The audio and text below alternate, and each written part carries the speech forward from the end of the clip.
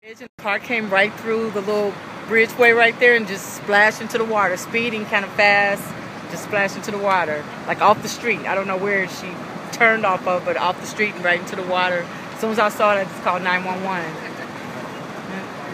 What happened then? Well, she threw, flew through the red light and almost hit a couple cars. Went right into the water, like she said. And three people jumped in the water. We all kind of pulled over. Everybody was getting out of their car and they were trying to break the window and get her out and they couldn't do it and within a minute it just sunk to the bottom did it look like she lost control and went Not and swerved really. or just went straight into just the went water straight, Straight into in the water. Mhm. straight in almost like on purpose Yeah. Yeah. Very fast. Very yeah, very fast. fast. And It just zoomed the in car there. sunk very fast. Um, it was like an action movie. I was at the light.